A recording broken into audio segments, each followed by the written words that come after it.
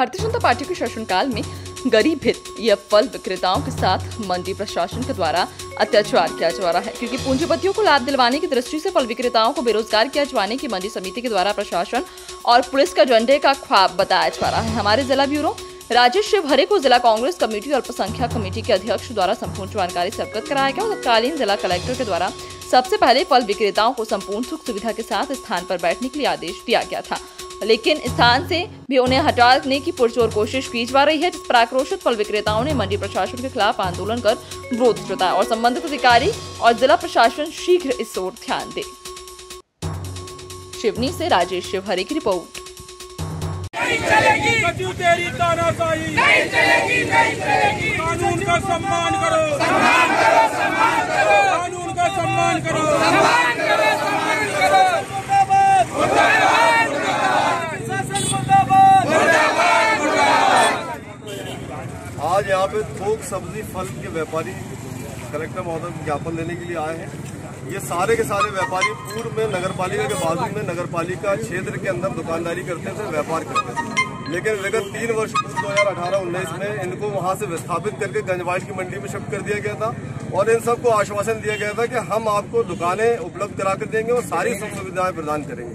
तत्कालीन कलेक्टर महोदय द्वारा इनको प्लाटों का आवंटन कर दिया गया था और नाप के इनको बता दिया गया था कि आप यहाँ पे बैठकर व्यापार कर सकते हैं। इन्होंने अपने शेड लगाए और वहाँ पे अपना व्यापार प्रारंभ किया। लेकिन कुछ दिनों बाद जब निविदा निकाली गई वहाँ से तो मंडी प्रशासन द्वारा इनको उसमें प्राथमिकता नहीं दी गई। आज तक जितनी भी निविदाएँ निकाली गई हैं, इन व्यापारियों को प्राथमिकताएँ नहीं दी गई हैं। और ये लगातार मांग करते हुए आ रहे हैं कि यदि हमको आपने वहाँ विस्थापित किया तो आप हमें सुविधाओं के साथ साथ में आप दुकानें बना कर दो या फिर भूखंड हमारे नाम पर रजिस्टर्ड करो। लेकिन मंडी सचिव द्वारा अभी कुछ दिन पहले 6 अगस्त को इनको नोटिस दिया गया कि हम आपकी दुकानों को तोड़ देंगे।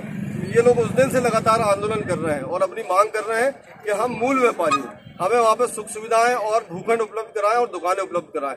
लेकिन वो मंडी प्रशासन इनकी दुकानों में तोड़ने पे लगा हुआ है, जबकि ये मूल व्यापारी है। ये दौलत सेवरानी जी हैं।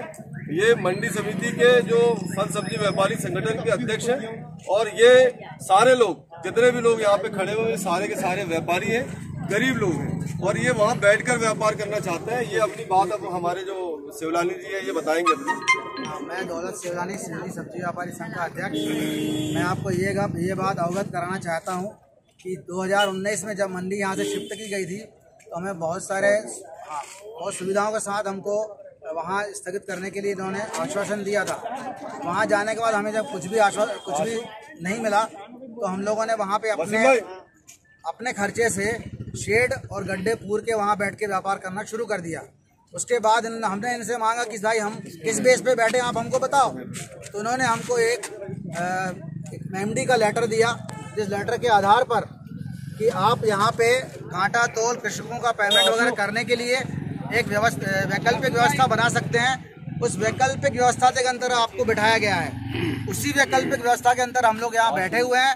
अब अचानक उन्होंने एक टेंडर निकाल के सेम उसी जगह का इन्होंने टेंडर करके और लोगों दुकानें बेचना शुरू कर दिया। उसमें हमारे एक दो सब्ज़ी वालों